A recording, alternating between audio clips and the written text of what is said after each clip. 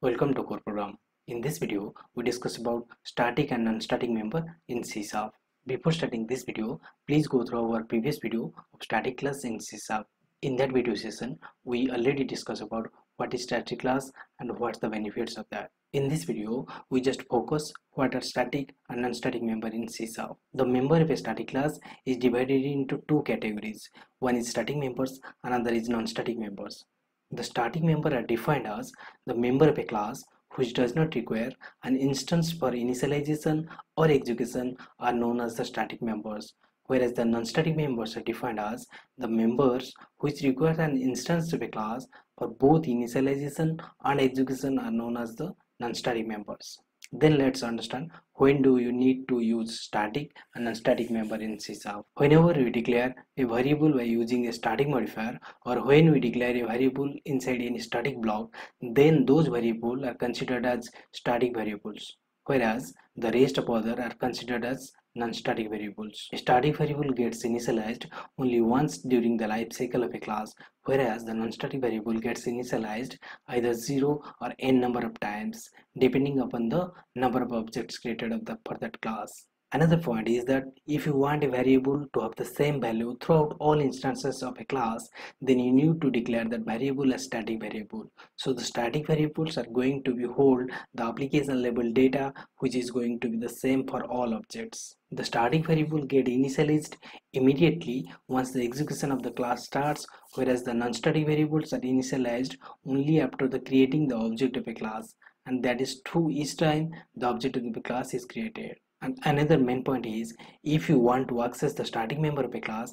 then you need to access them using the class name, whereas you need to an instance of a class to access the non-static members. Let's create an example and see how they works.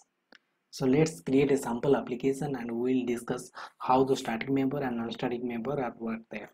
This is the same application that we have already used for the static class. Let's create a non-static variable here, intx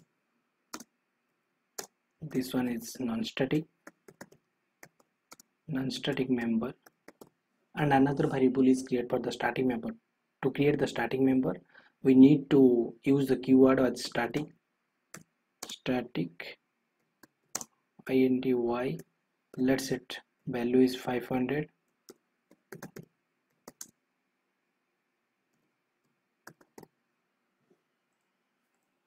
let's create a constructor of that program class to create the constructor just type ctor and double tap. It should create the constructor for that particular class. Then on the constructor we defined a parameter as intx. Then here declare this dot x equal to our value is x. Then first access the static variable here. Static member as you already discussed the static member can uh, call directly. So we defined as console dot write line let's say static variable y equal to program dot y you can see the static member y is directly called by the using the class name here. And for access the non-static member we should create an object and uh, then we access that. To create that program p1 equal to new program and some values is to be required. Let's set 50 then another object will create program p2 equal to let's say it's 100 then to call the non-static member we write that console dot write line p1 dot x p2 dot x. Then finally add the console dot and here the static variable is called directly whereas the non-static variable is called after the creation of that object let's run our application and see the output you can see the output is printed as static variable y is equal to 500 then the first object x is equal to 50 and the second object x equal to 100 now discuss what is the scope of non-static variables in C. The non-static members are created when the object is created and are destroyed when the object is destroyed. The object is destroyed when its reference variable is destroyed or initialized with null. So we can say that the scope of the object is the scope of its reference variables. Then let's understand why in the static member the static keyword is used. If you declare a method using static modifier, then it is called as a static method, else it is non-static method.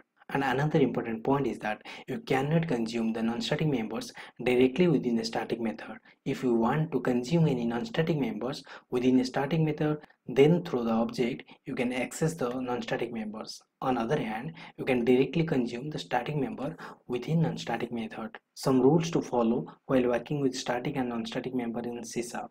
If the member is non-static to static, then it can be consumed only by using the object of that class. When it is static to static, then it can consume directly or by using the class name.